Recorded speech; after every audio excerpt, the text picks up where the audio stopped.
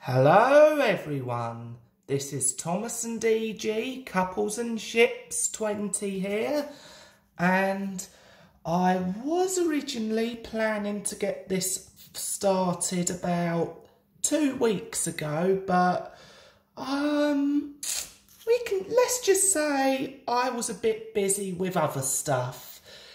But as for another new series here on this channel, uh, this is something I like to call Equestria Girls What If? And to start off this series, we're going to go with a very simple but easy topic. What if Applejack never accidentally hammered her hand in constructive criticism? So, let's put it this way. It starts as, yeah, it still starts as the same short, but however, we'll say Sunset Shimmer isn't there this time because, well, let's just say she was looking for someone to be Applejack's assistant on the construction job. And Applejack is easily concentrating on hammering the planks of wood into place to build the stage.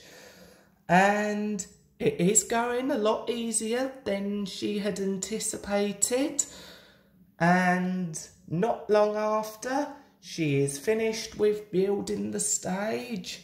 And then Sunset Shimmer comes into the auditorium with a construction partner for Applejack who could be. Um, ooh, who likes building? Actually, I think we could have Jack Hammer introduced to the human world on this take in the short. So, yes, I am quite overall happy with um, my premise for what if Applejack never hammered her hand in constructive criticism. And yes, I apologise if the first episode was a bit short, but other than that, you're very free to well to suggest any topics for these kind of series in the comment section below and I'll see if I can include some of them. But in the meantime, thank you all so much for watching.